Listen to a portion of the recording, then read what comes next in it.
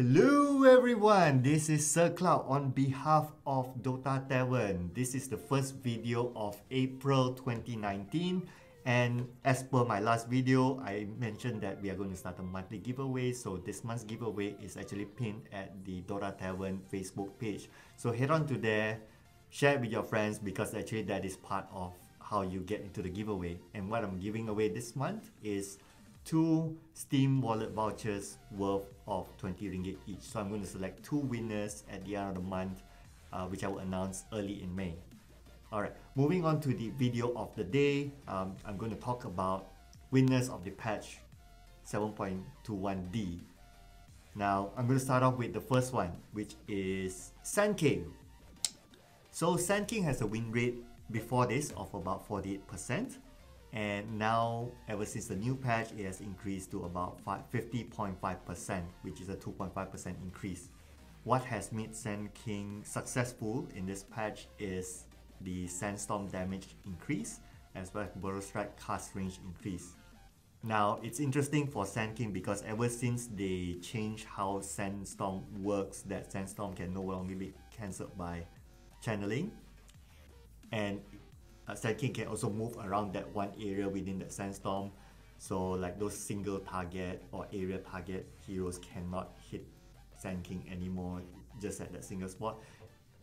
Plus with this change of making it uh, increase damage as well as uh, Strike cast range normally this can also be combined together depending on how the player goes. So this has become very successful for Sand King uh, with the damage increase definitely helps Sand King to farm very well using this skill. So it's even before this, it has been one of the key skills in, in terms of farming, uh, combined with the other attack skills as well. Uh, so Sand King has increased its value in terms of farming, thus increase the, the win rate as we can see here. Next up, on the second place would be Templar Assassin. Now Templar Assassin has a previous win rate of about 43%, it has increased to 47%, which is a good 4% increase, right? So things that have changed for Templar Assassin since is uh, agility gain increase from 2.8 to 3.2 and melt debuff duration increase from 10 to 12. Now the melt debuff actually is a very good skill where wherever whether it's early game mid game or late game because just because it's melt debuff it gives very early debuff on uh, the armor right? So this is how the sequence goes if you were to put in practicality mode.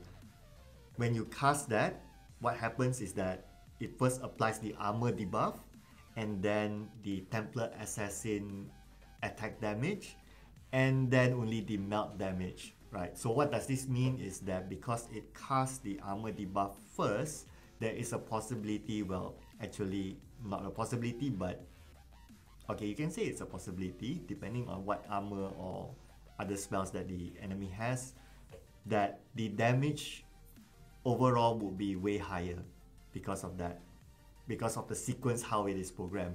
So it has seemed to pick up in terms of win rate and thus congratulations to people who like Templar Assassin to use them. Probably very formidable in the mid lane and this has been very successful with Templar Assassin. Moving on to the top spot. Okay, the top spot on Grove, Drow Ranger. So Drow Ranger previously have a win rate of 48%. It has since increased to 53% which is a 5% increase. Now, just to recap on what has been good for Drow Ranger, agility gain increased from 2.5 to 2.8 and base agility increased by 6. Right, so Drow Ranger is very agility based type of hero, so it very depends on the agility amount because of the attack speed and uh, combined with some of the other stats that uh, Drow Ranger comes together together with the together with the ulti and all that. So it makes Drow Ranger very dangerous if someone were to be able to pump the agility. So with this increase of agility, it gives a very good advantage to Drow Ranger very obviously. Uh, in fact, if we just look back at 7.20b, the base agility has increased since from 19 to 29.